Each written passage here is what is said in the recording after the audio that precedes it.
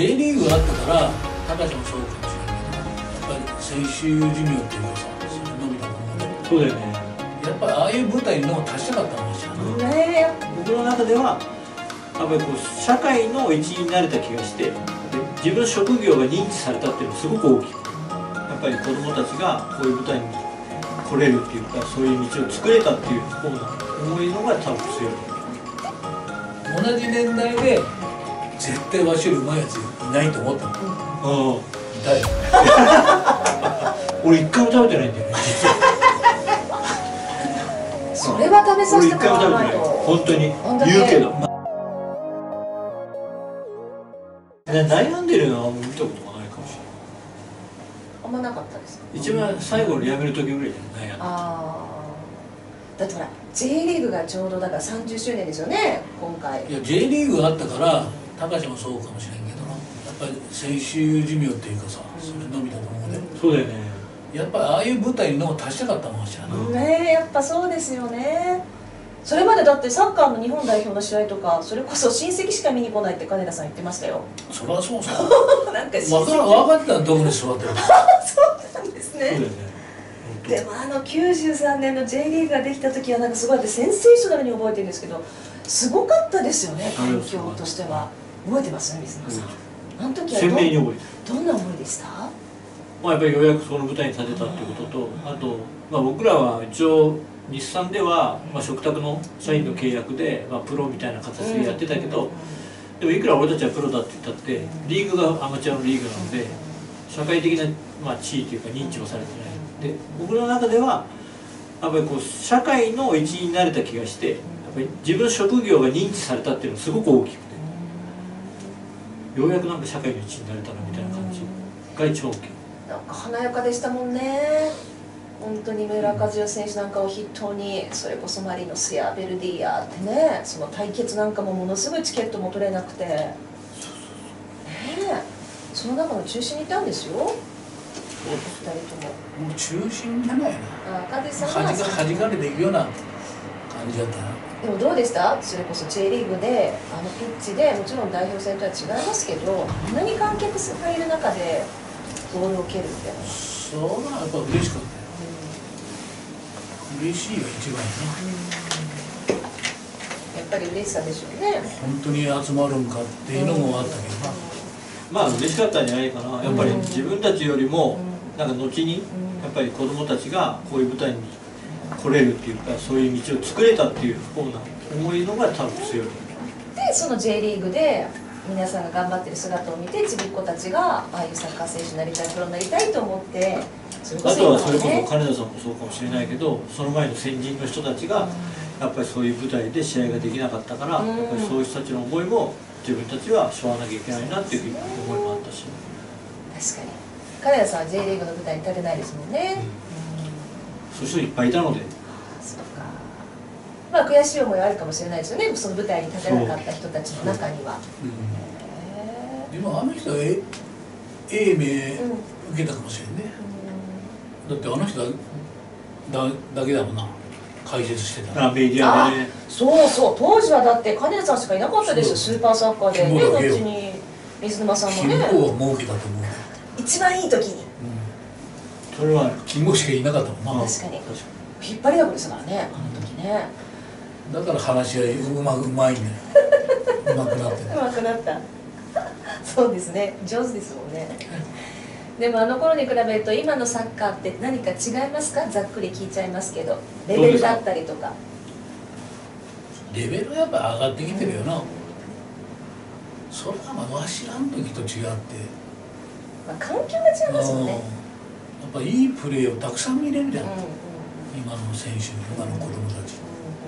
やっぱりレベルは当然上がっていくよなわしらの時そういうのなかったもん。で今はもう海外行って同じようにこうやってるじゃない、うん。同じピッチで。そういうやつらとできるっていうのが一番大きい。でもなんか一緒にボール蹴ってみたいなって選手います？今の選手で現役選手で三笘？蹴ってみたいよ。もう一緒にプレーしたいやってみたかったな。ああいうああいうやつはな。ぱ近くで見るのと違うじゃん。うん。ああいう映像で見るのと、うんうん映像でもうまいけどな、うん。えー、三笘選手は何がこう木村和志の心を動かすんですか？一緒にボール蹴りたいなって思なんだろうなボールの持ち方とかな。ボール持ってる姿勢とかね、あのタイタイミング外す。やつとかね。うまいよ。うん。うんカズさんはマラドーナとやっやったよ。た退治した？どたよしたさ。うどういう思いがしあの時はあやっぱすごいと思ったよこいつは。同じ年代で絶対わしよりうまいやついないと思ったもん。たうん。いたよ。すげえそれがマラドーナだから。なんかもうフィジカルが違いそうそもそも、違う違うなん全然か胸板なんかこのぐらいだうん、おちゃんって散らされそう。でもこっちも意地がありますからね。すごい俺マラドーナできなかったんだよね。えちょうどその時代表入ってないしワールドユースでは一緒に大会には出てたけど対戦することもできなかったのそうかそうか。ー、えー、え逆に対戦して思い出に残ってる選手って誰ですか？あんまりいないけどうん。今さっきカズさんが言ったように誰かとやってみたいっていうのはやっぱり三笘のディフェンスになりたい。どういうことしてくんだろあうなんであんなみんな抜かれるんだろうどういう気持ちになるかなみたいなことはたまあ味わってみたいかデなィフェンスに逆に興味それそれは客観的な興味ですよね。そうわしわしやりたくない。やりたくないね。抜かれる抜かれる。ね抜かれやすい悔しいやん。へえ逆に止めたいと思うしね。止めたい多分止められないんだけど、うん。なんでだっていうことを自分で理解したい。いまだに勉強熱心ですね。あでもそれがなんか面白くないかなっていう、うん。やっぱりあれだけこう抜ける人で何を考えてるんだろうどういう体重の変化があるんだろうとね重心がどう変わるんだろうとか、どのぐらいのスピードを体感できるのかとか、それはね感じてみたいかなみたいな。確かに。多分サッカー選手だと私たちには分からないなんだろう。テレビで見るだけじゃないそのプレーの呼吸感とかこうなんだそのもう秒の感覚ですよねきっと。おいいこと言うじゃん。あと呼吸とか。呼吸？間合い？おあとこの間ね中村健吾とちょっと喋った時に、イニエスタの話をしてて、うん。イニエスタはさっき言ったけどやっぱり面倒くさいんだって行くとははたかれる。うんで行かないと自由にやる。でもうもう行っても無駄だと思われるともう何にでもやる。はだから本当に面倒くさい。あね雑っぽい感じしますもんね。面倒くさい。なんか来たらポンポンっつって。そう。そういう選手はやっぱり頭がいいってことでしょ？まあそういうことですよね。無駄に走らないし。技術もある技し術もあるし。え水野さんがちょっと一緒にボール蹴りたいなって思う人います？ボール蹴りたいの？はい。なんか一緒にさっき言ったようにここにカズさんのボールが来るとかボール受けたいなとか。あコータのクロスを受けてる。そこはやっぱり。誰誰コータのクロスをおおこうだの？そこはやっぱりね。こうだエボ蹴るで。いやすごいですよねその俺が前田大然内にこう入っていったらこう来るのかなと。まあ俺ダイビングネットやってみたいなみたいな。えガチではないですよね対戦したことはね。一緒に 前田大然になってみたいなあと。あ今思ったけど。あんだけ速いのはどういう体感があるんだろうっていう。大体足速いやつはアパルパーだからな。何も考えないでもできるから。でも走ることに全てをかけてるんですよ。昔の岡野さんみたいに。なんで頭使わんかなと思ってもっとだから上手くなるのよな。だからそういう人がバランス取って一つのチームになるんでしょうねどうですか？みんな面白くないですそういうことですよね。走ってくれる人がいたら楽じゃないですかカジさん。そうだよ。うん。ある程度のところを蹴っといたら間に合うみたいなうんほんまよ。昔の岡野なんかそうや。そうそうねどれだけ速いねん。どこに蹴りゃええんかなね逆に。そうですね。自分が出した出したパスに自分で追いついてましたもんね。そう。自分にスルーパス出せそういうことですよ。そっか息子さんと一緒にね。それちょっと見てみたいな。なんかないんですか？そういう親子マッチみたいな。えやらやらないんですか？ね見てみたいですよ。ね俺もう小さい。サッカーしないですよえなんで？俺もういい。わしはやりたいけどできできんからな。うんカズさん見せられるからやりたいんですよ。俺見せるものないもん。こんだけ和志さんが褒めてるんですから。そうですか？うん。ねえ梶さん。そんなでもない。どっち？どっち？散々褒めてるのにこれ話尽きないですね。そうなの。だからどうですかね。切りないですよ。だいぶ終わもうだいぶ、はい。ちょっと1時間以上はそうそう。もうそろそろですよね。そこうなっちゃうんですよ。だから早く止めてください。じゃあちょっと最後に締めをいただきますか、ね。梶さん。うん。なんなんやしね何やっぱり喋れへん木村和志 TV が今日ね第1回目ということでやっぱり皆これいっさんぱい見てくれたらええの。おおそうそういいねボタンじゃないけどいいねボタンとか押してもらってチャンネル登録とかしてくれると多分たくさんの木村和志ファンが増えると思います。ええわしの方が増えんでもええけどお金が入れへん。まあそこリアル。そりゃそうそこはリアル。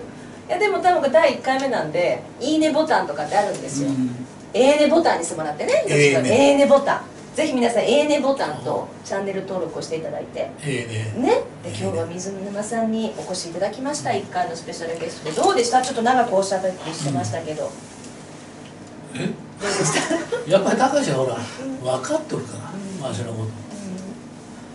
やっぱりあ嬉しいしね。話しやすいし。うんうんで水野さんどうでした？第1回目のスペシャルゲストということで、はいせっかくね衣装としていい T シャツを着ていただいてるそこを触れないわけにはいかない。さすが。もうこういうとこですよ解説で鍛えた水沼隆のトーク力。っていうかこのあるものがもう全てもう最高じゃないですか。懐かしいやろこれ。超懐かしいですこれ。ここね剥がれてるの日産の汗と涙と梶さん汚れと。誰なんやそれいやいやここね。銃じゃないの銃ですよ。銃がボロボロじゃん。いやこれがやっぱり歴史ですよ木村和志の。でしょ？あったな。オリジナルスですよ。マーク。アディダスの。あったな。へえエンブレムももうやばいですよ。日産 FC いやでも正直こんなボロボロなんですね。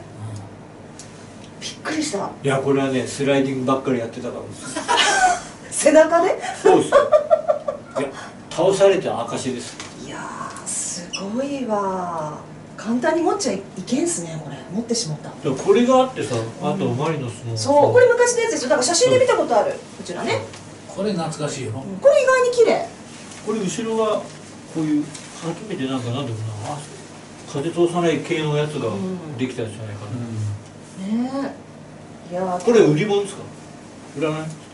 木村和志ミュージアムとかないですか？あそうだ木村和志ミュージアムは作った方がいいんだよ。そういやそこまで活躍しないしないやしとるっちゃ。一人じゃ。しとるっちゃ。どこの言葉やびっくりした。スパイクとか取ってないスパイクとか何個かあったけど。トロフィー。和志さんさそういえばアディダスでうん。スパイクをなんかフリーキック用にう。なんか特別になんか革をんうん。加工した作ったんですよね。どこ行ったんだろ普通のこうスパイクの上にこう革で3本こうやって入れてここで回転がかかるみたいな。そういうスパイク作った和志さん。それ自分で？っていうか作って作ってもらっったてあの木村和志モデルみたいなやつですか、たで昔だよ。今はみんな足型取ってオーダーとかするけどすごいですよ。羨ましいっすね。本当ですよレジェンドだ。俺ないもんそういうの。すねちゃった。笑い方その。またなんか新しいの。やってる新しいのやって靴新しいぞもう本当に話は尽きないようですのでちょっと水沼さんもね今日は久しぶりにカズさんとしゃべって、ねまたやろうやりたいね。これ第1回です第1回。じゃあ第1回記念ということで、はい。ありがとうございました。とんでもないです。で大体一回りまあお友達3人ぐらいしかいないから4回 4回目ぐらいで回ってくるかもしれないもう一周回っちゃうんですね3すぐです。人で。4回四早っ。回目で入りますす。ぐよびっくり。すぐです記念すべき1回ですから。大丈夫でしょネタには尽きないんじゃないですか。ん？どうかの？どうかの？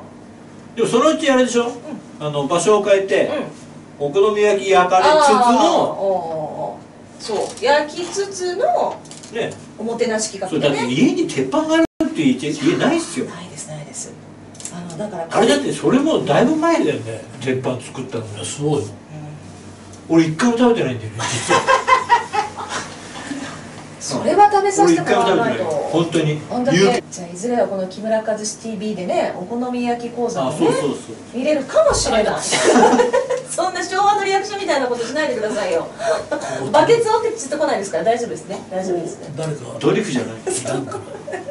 ない大丈夫大丈夫ですよじゃあぜひね今後の木村和志 TV を楽しみにしていただきたいと思いますので。木村和志 TV お好みチャンネル。お好みチャンネル。の話でね。焼酎チャンネルだったの？焼酎焼酎チャンネル。変え変わりましたからね銘柄がね。二階堂の。ええ。二階堂チャンネル。結構言う。二階堂ばっかり言う最近。そうそう二階堂。二階堂大分ですよ。二階堂。そうそう。いいちこも大分だけど。なそうそうそうそう。多いですよね。下町のナポレオンねそうそう大分は名刺が多いですから。最初はそうよ。いいちいいちこがね焼酎好きだよね。焼酎やっぱ合っとるんだねあってで普通に辞める人多くないですか？病気になったとかなんかあるいやなんでやめれんのかうん でもとでもそれはそれはやっぱり木村和志たるゆえんじゃないですか。そうそうそうそうそれでね辞めてしまってはなんであれしたんやって。言うかないかだって楽しみの一つですからね。いや本当に。そう。まあな。そこは味わえる程度にね楽しんでいけばいいんじゃないかと思いますいろいろ言われながら飲ん。どるよええええええお酒は楽言ってくれ二階堂っていうこうあれもいいよいいですね管理屋のうん。これ来るん。ですか CM 来るかもあ2回まあ時間になってるそう CM 来るかもよでここ大事なとこじゃん。二階堂の CM 階堂さん。お待ちしてます CM に寄り添うじゃん。広島弁でなん。かこう飲んでええのって言うねほらできた。広島の焼酎ない？知らんあると思うで日鴨鶴とかで日本酒でしたっけ？あ日本酒。ね日本酒でしたね。本酒あのまあいろいろ頭いいとなるから。頭痛くなる。そうなんだ。いや俺的には酒は全部頭痛くなるだろうみたいな その飲まないのが信じられないですもんね。のすごい強そうなイメージがあるから。これ？うん、飲んでそうなイメージ。しかもバーとかえ行ってえババーーとか行ってそうなイメージが。ね。それは人を見た目で判断するなってこと？ビジュアルがかっこいいという。バーボンのロックでみたいな感じ？そうそうそうそうそんなイメージです。ああなるほど。うん。岡地さん焼酎のイメージですねもうレモンとかそんなん絶対いらんいらんはあみたいな邪道みたいな感じですよそれがやっぱプレート似てるんじゃないですかやっぱり。レモンはみたいなあ そうそうそう。蜂蜜につけときゃみたいな感じがする。というわけおで好みまだ早いわひっくり返すのみたいな。そうそうそうそう。それは言ったことあるあんまり抑えるな。おおそうそうそうお前よ抑えて抑えてね。ピッチピチなんて パスパスなんだろさあここで。というかまさかのサッカー以外の話の方が盛り上がって縁も出た竹川ではございますが締めてよろしいですか？おまたの？というわけで水間中さんありがとうございました。